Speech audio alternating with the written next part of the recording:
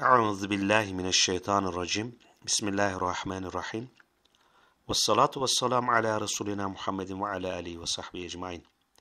Değerli dinleyicilerim, bu programımızda namazda sağa sola bakmanın mekruh oluşuyla ilgili Hazreti Ayşe validemizden rivayet etmiş olduğu bir hadisi arz etmek istiyorum. Bismillahirrahmanirrahim. An Aişete radıyallahu anha kalet.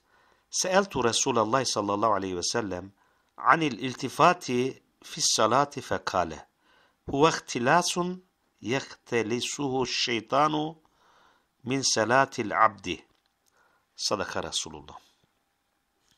Allah Resulüne sallallahu aleyhi ve sellem namazdayken başın sağa sola çevrilmesinin hükmünü sordum. Buyurdular ki o şeytanın kulun namazından namazı kılmasına veya erkanla mani olamayınca veya erkanla ilişmeye mani olamayınca sağa sola baktırarak bir kısmını aşırmak suretiyle yaptığı bir çeşit namaz hırsızlığıdır. Buhari Ezan 93 nolu hadis-i şerif.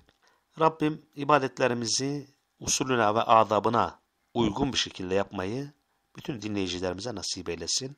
Allah'a emanet olun. Hoşça kalın değerli dinleyicilerim.